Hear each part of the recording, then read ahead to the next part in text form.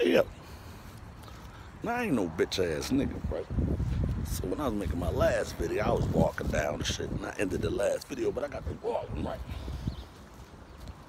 And another motherfucking deer came out on me. Now, I ain't gonna say it's another big deer, but you know, the, the day, a couple days ago, a deer had chased the shit out of me. And I dipped on him, right? And, and I ran, and the lady was like, sir, you need some help? Like I was running so hard, she thought my life was in danger, which to me it is, because I don't see, nigga, this ain't no pit bull. You know a pit bull, you be like, get the fuck out of here. Man, bitch, move, move, move. But with a deer, you be like, nigga, go ahead. And the motherfucker like, clock, clock, clock, start running towards you.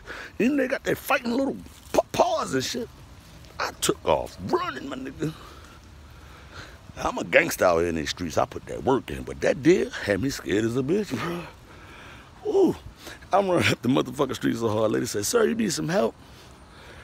I said, yes. When I bent the corner, she seen that deer behind me. She said, like, come on in. Now, man, she locked the doors. Bitch had me banging on her front porch. Keeping the deer out the porch with a porch chair. And this was a black woman. The white lady was like, sir, I got some deer off. Deer off?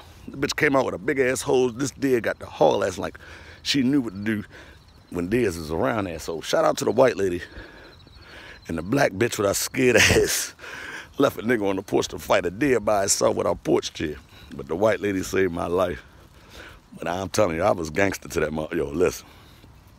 Niggas gangster till they fuck with some shit in the wilderness, right?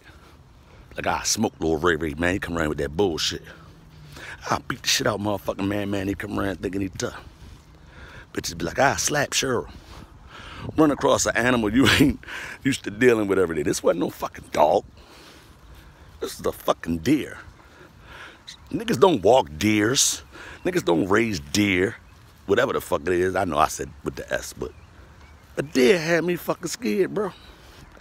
Not only scared, terrified for my life, because what if it caught me and I'd have died?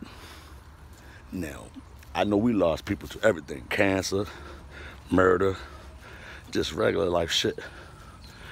All the nigga history, I never heard of my homeboys getting killed by no motherfucking deer. So it kind of would have worked for me because I'm a funny nigga and I'd have died on some funny shit. But I ain't want to die by no deer, bro. Like I was running, so I ran so hard my shoe was gone. I had to go back and get my shoe after the lady scared a deer off the deer off, yeah.